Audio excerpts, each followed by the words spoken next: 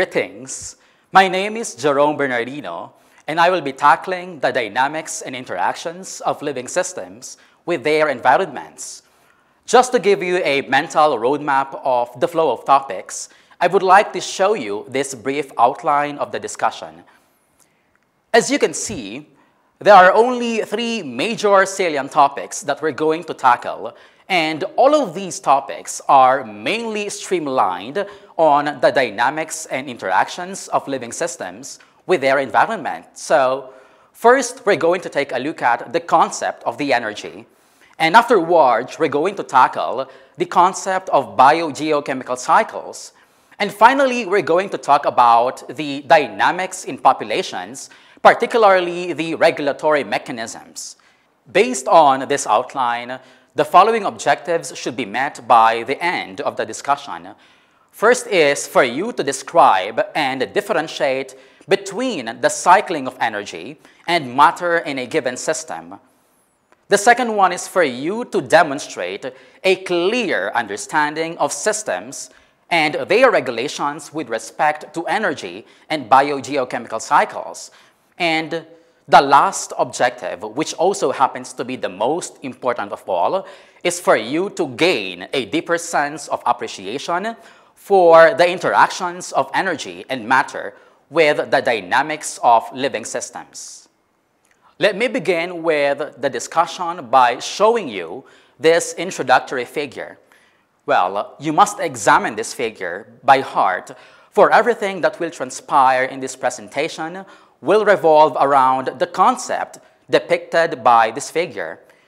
In essence, this figure is one that depicts a living system wherein there are interactions between the different components involved. Essentially, there are only two of these components, namely energy and matter. The point that I would like to emphasize at this moment is the fact that in order for a system to be classified as a living system, it needs to be described as both an open system and a closed system. By definition, an open system is a system wherein energy is cycled and transferred within that given system to another system. In other words, energy is not compartmentalized in a given living system. This is what is meant by the open nature or property of a living system. In order for you to understand this statement, let us define what energy is in the first place. By definition, energy is defined as the capacity to do work. And in order for work to be done, there has to be an input, and that input should be in the form of energy. This definition will only make sense if we know what is being pertained to by the term work. And so, work, on the other hand, is defined as the displacement of a body against an opposing force. And if we're going to take notice of this definition, we can deduce that in order for work to proceed, a displacement or a movement within a system needs to take place. Hence, in a more technical sense, work is defined as the product of force and the distance displaced, meaning to say, there should always be an input of force, and this force alone should be the ultimate reason behind the displacement of that particular object. However, in our discussion of energy and work, we should only be limited to the concept of biology. And so, in biology, work describes any displacement against a force that a living thing encounter or generate. Well, to understand this statement, allow me to give one concrete example of a biological phenomenon wherein work is done. One biological phenomenon wherein work is done is the process of osmosis, which is basically the movement of water molecules across a semi-permeable membrane down the concentration gradient. Well, in other words, it is the movement of water molecules down the concentration gradient or from a region of higher concentration to a region of lower concentration. Simply put, this displacement of water molecules to the other side of a membrane is an exemplification of work at play. In addition to that, you must take note that the process of work is facilitated by energy. Now, why am I saying these things? My point here is this energy that is fueled or that fuels the work to be done in a given living system is not compartmentalized to that system alone. In other words, energy can and must be passed and transformed from one form in one system to another system in order for that system to facilitate work and therefore essentially serve their purpose in the entire ecosystem. There is one figure that may help us understand this statement, and that figure is this. This figure shows an energy pyramid in a given ecosystem. Well, basically, in a given ecosystem, several types of pyramids can be generated. In particular, there are three of these pyramids. The first one is the energy pyramid. The second one is the pyramid of numbers. And the final one is the pyramid of biomass. But what I would like to emphasize at this moment is the fact that among these three types of pyramids, the energy pyramid is the only one that should be upright in form. In other words, both the biomass pyramid and the pyramid of numbers can be inverted in form. However, the energy pyramid should always appear to be upright. The main reason behind this lies in this particular figure alone. As you can see, beginning from the primary producers occupying the base of the pyramid, the percentage of energy decreases following the hierarchy of the trophic levels. For example, the percentage of energy contained within primary producers is 100%. This amount was then decreased to 10% in the primary consumers, which is the next trophic level. Again, that amount was further decreased to 1% in the secondary consumers, and so on and so forth. As you may have noticed, there is a pattern with regards to this reduction of the percentage of energy across the trophic levels. We call this pattern the 10% rule.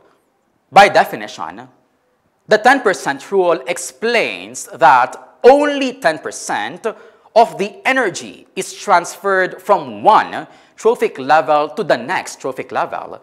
And this rule essentially underlies the open property of living systems. In addition to that, you must take note that the remaining 90% of the energy was not transferred to the next trophic level. At this point, you might be wondering what happened to this huge amount of energy that is not transferred to the next trophic level, and there are two possible explanations behind this. The first one can be explained by the second law of thermodynamics, which states that the entropy of a given system always increases. In particular, the transfer of energy to another system always and will always entail the release of heat.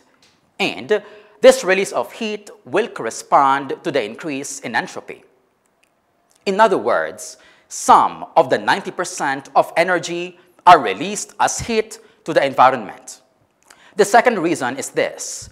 A huge chunk of the energy that is not transferred to another system was used or utilized by the system to fuel its processes, such as metabolism, for example.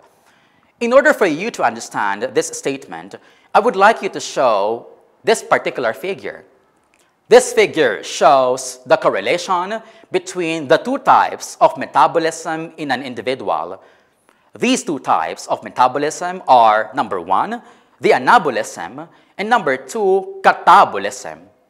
By definition, anabolism pertains to a building up procedure, meaning to say, complex polymers are synthesized out of the simpler monomeric subunits.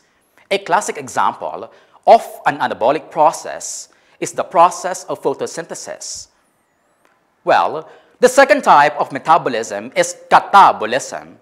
By definition, catabolism pertains to the breaking down procedure, meaning to say a complex polymer is broken down into its monomeric subunits. And a classic example of a catabolic process is the process of aerobic respiration. The point that I would like to highlight at this moment is the fact that a huge chunk of the 90% of energy that is not transferred is utilized by the organism.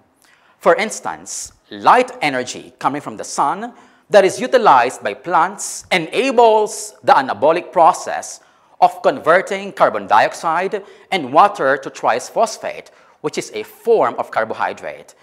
And so, meaning to say, by virtue of the open property of living systems, light energy was converted from chemical energy, or it was converted to chemical energy rather, in the form of carbohydrates.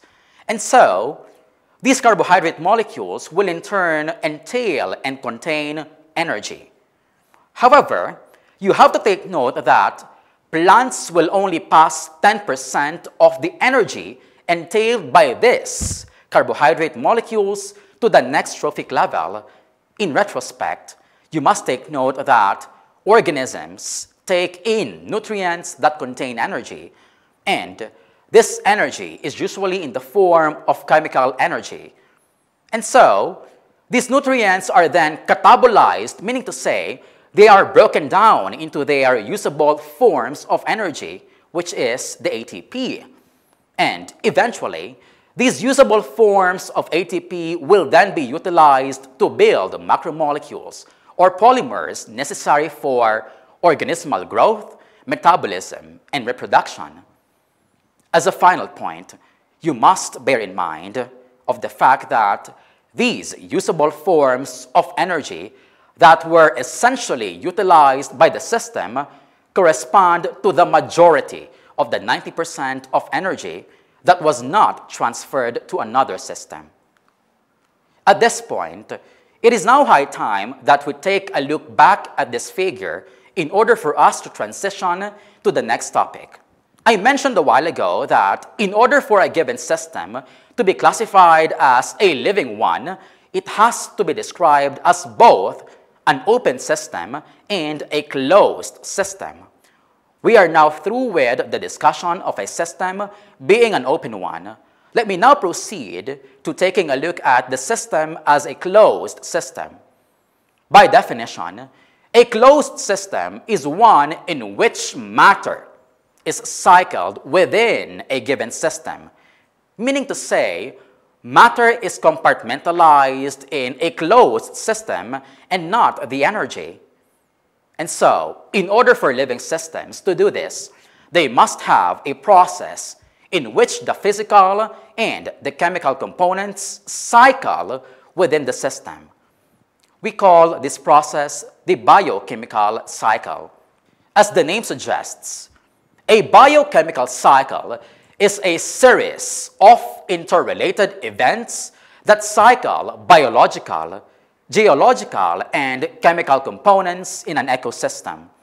By definition, biogeochemical cycles are cycles that entail movement of chemicals from biotic, meaning to say, from the organisms that utilize them to the biotic components. In other words, to the immediate environments wherein these chemicals are to be deposited and vice versa you must take note that essentially what are being cycled here are chemical elements. And so, since it is a cycle, these elements are used repeatedly in different forms, but they must return to their original form. And in addition to that, this cycle of elements presents a number of importances to the ecosystem. But we will only delimit the discussion to only three importances of these cycles. And so, The first importance is this. The biogeochemical cycles allow the transformation of matter to different forms that are useful for a particular organism. This particular importance is very significant because there is an involvement of the biological key players, which are the organisms themselves. Simply put, the organisms are involved primarily because they are the ones that assimilate or process these elements into other forms. The second importance is this, which has something to do with the interconnections within the ecosystem. Well, you know very well that these interconnections or interactions are vital to every given, to every given system. In effect, biochemical cycles or the biogeochemical cycles provide a linkage between the living organisms with their co-living organisms and these living organisms with their abiotic factors. In this way, the elements was transformed or are transformed rather from one form to another via these interactions. Finally, the last importance has something to do with the composition of the abiotic components of the ecosystem. Thus, this last importance of biogeochemical cycles is the enabling of the movement of elements from one locality to another. Eventually, whenever these elements move from one locality to another, they become part of the localities serving a particular purpose. Now, all of these three take part in establishing the dynamics in certain types of systems. And one of these systems is the population. And so with this in mind, let me now proceed to the final topic in my presentation, which is all about the dynamics in population, particularly the regulatory mechanisms. Whenever we speak of the dynamics in populations, we simply refer to changes that take place in these populations. One encompassing concept may help us understand this concept, and it is this one, the ecosystem feedback. In simplicity, the ecosystem feedbacks underlie the fact that the change in one part of a living system allows for changes in another system in other words, the ecosystem feedback is a counter-bouncing effect that helps regulate the overall state of the ecosystem. And you must take note that this regulation can be of two forms, namely the negative feedback mechanism and the positive feedback mechanism. The difference between these two forms of regulation can be seen in the succeeding figures. These figures show the difference between the negative and the positive feedback mechanisms.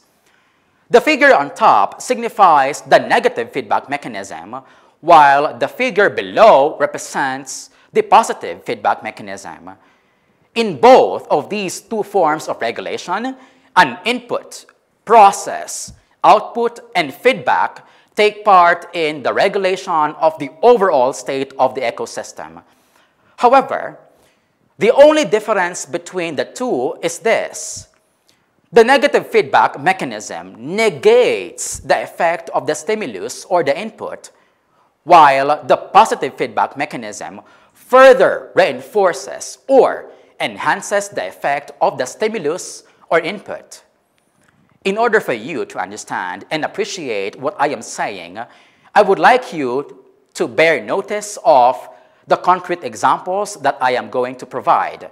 And these examples are the regulatory mechanisms wherein the negative and the positive feedback mechanisms are at play. To be specific, these regulatory mechanisms are the population regulatory mechanisms. This graph shows the dynamic relationship between the population sizes of the prey and the population sizes of the predators through time. And by merely looking at the graph, we may be able to conclude that the population size of the prey is highly influenced by the population size of the predator. Specifically, whenever the population size of the predator skyrockets, the population size of the prey in turn will take a nosedive, and this makes sense. But what I would like to emphasize at this point is the fact that this particular example of population regulation is a form of negative feedback mechanism, wherein the population size of the predator serves as the stimulus or input that negates the population size of the prey. In addition to this, you must take note that the negative feedback mechanism serves as a source of stability for the entire population. This is not self-explanatory. Allow me to help and guide you in, in understanding this statement. The negative feedback mechanism serves as a source of stability simply because it maintains the population size of prey at a certain acceptable level or range that the environment can sustain. In ecology, there is one particular term that designates this maximum number of individuals in a population that the environment can sustain indefinitely. This term is what we call the carrying capacity. And so, in reiteration, the negative feedback mechanism serves as a source of stability because it is able to sustain the carrying capacity of the environment. This figure, on the other hand, shows the dynamic relationship between grasses and shrubs through an ecological event known as succession. This evolutionary event lays the groundwork for exemplifying and showing a positive feedback mechanism. Initially, grasses predominate in this area because their roots penetrate the topmost layer of the soil. On the other hand, shrubs are initially outnumbered by grasses simply because their roots penetrate deeper into the soil. And so, in effect, the roots of shrubs intercept minimal amounts of rainfall, while the roots of grasses receive huge amounts of rainfall or water. Because of these, grasses outnumber shrubs in the initial stages of succession. However, a tipping point will be reached such that shrubs will set in motion a cascade of ecological changes that will lead to their fast rate of growth. This tipping point marks the onset of positive feedback mechanism, wherein the shrubs will continue to grow larger than the grasses, eventually leading to the depletion of sunlight in grasses. Whenever this is the case, we can therefore conclude that the positive feedback mechanism serves as a source of instability the reason behind this will also lie in the concept of carrying capacity yet again. Well, to be specific, in the example I presented, whenever the shrubs continue to grow indefinitely, in other words, whenever they exhibit positive feedback mechanism, the carrying capacity will be reached.